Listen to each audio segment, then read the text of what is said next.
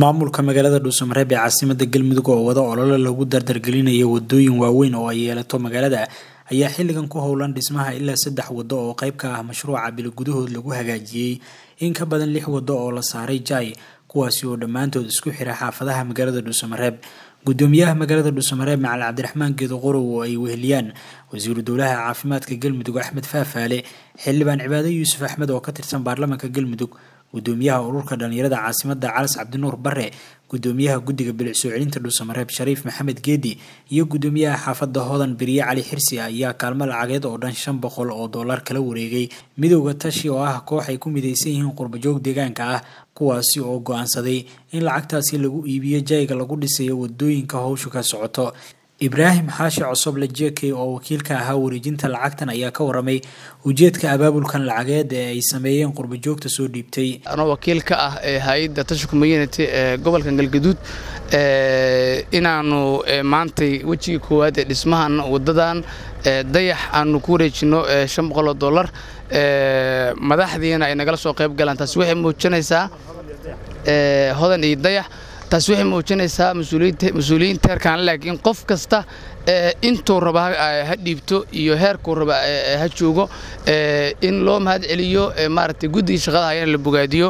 Waxaad ogtiin wasiiradiyaa jooga maamulkiyaa jooga xildhibaanadiyaa jooga ururkii dhallinyadaa jooga.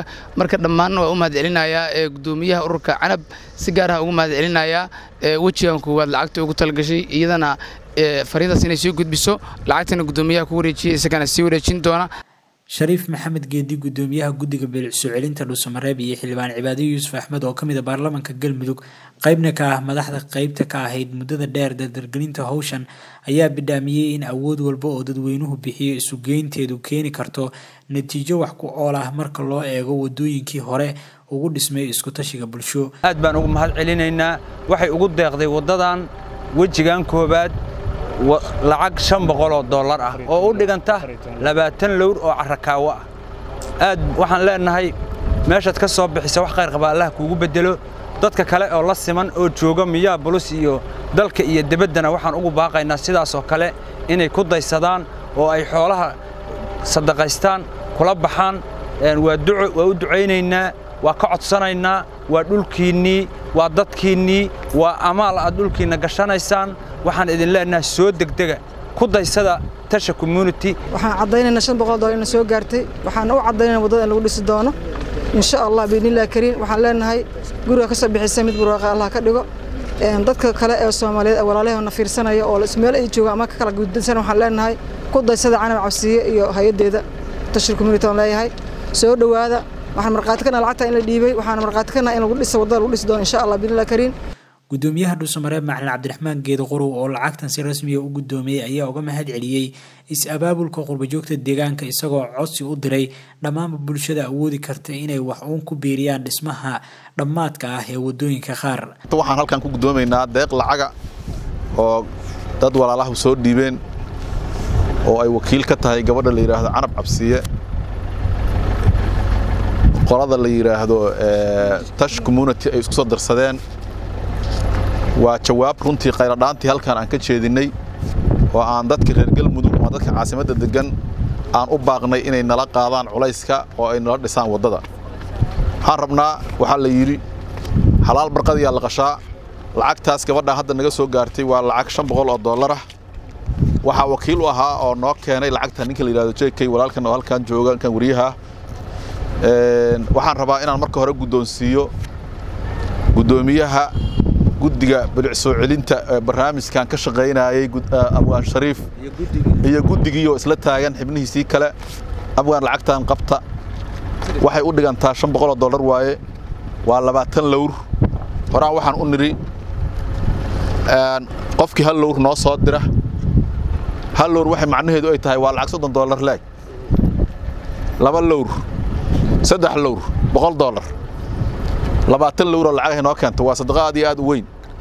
Haddii qof kastaa intaas uu noo soo diro ayadoona hay'ad kale iyo cid kale midna loo helin waddada waa dhammaystirana bil gudaheed haddii ilaaha yidhaah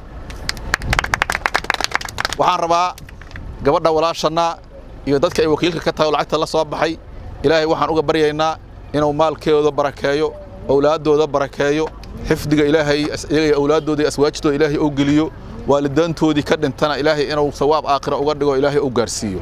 Waxaan waa sadaqa jaariya halkii lowra meeshaan la dhigo dhagaxaas meeshaas la dhigay oo waddada oo la maraayo ilaa qiyaamuhu ka dhacaayo dhagaxaas qoftii kastoo kor martaba sadaqay ka helaysaa qofkii meeshaas dhagaxa dhigtay oo carrakaawada ku rogtay.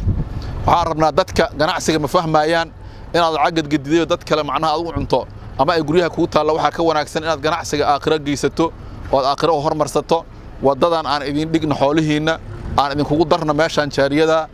Maalin kasta fursaddaanu ma taagna. Xoolaha soo dhiibta keensada annaguna haddii ilaahay hortiis sidaasaan wax kasta u caddaynaynaa. Waa la soo rogayaa. Qof kastaa lowrkay soo dhiibato. Meeshaan u dhigaynaa haddii ilaahay idmo aad iyo aadaan ka soo qaybgalkiinnana uga mahad celinaynaa.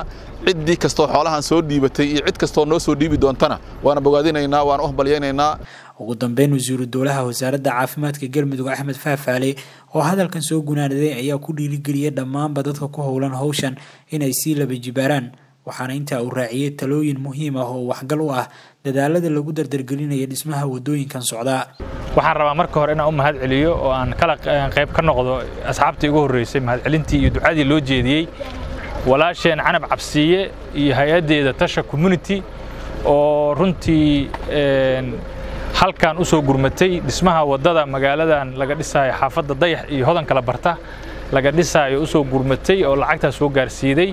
Waan u mahad celinaa marka hore.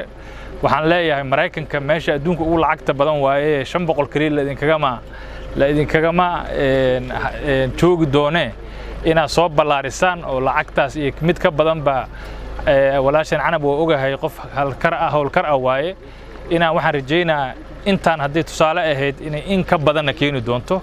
Sidaas limaadana qaybaha kala duwan ee ama reer dhuusamareeb ama reer galmudug ama soomaali cid kastoo wax samaynaysa oo qurbaha joogta dal kasta dadkiisaa hormarsada dadkiisaa dhisa isku tashiyaana lagu dhisi karaa waxna lagu wada qaban karaa.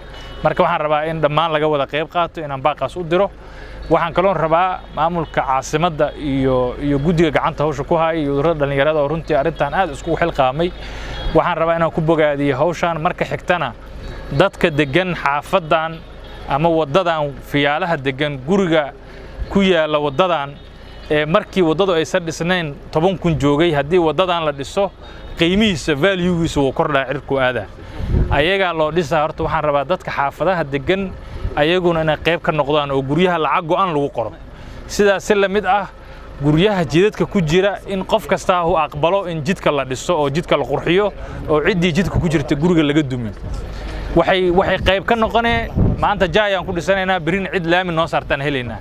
Valuegay kordhine amnigay qayb ka qaadane layrar in lagu xiraa la helaa fursad loo helaaho layrarna loogu xiro waxaasoo dhanaa fursadaha ku jirta. Marka guddoomiye abwaan shariif iyo guddoomiye calas waxaan idinka codsanaya iyo tiimkiin idinla shaqaynayay dadka wadooda degan in iyo boosaska dadka leh in lacag ayagana lagu qoro.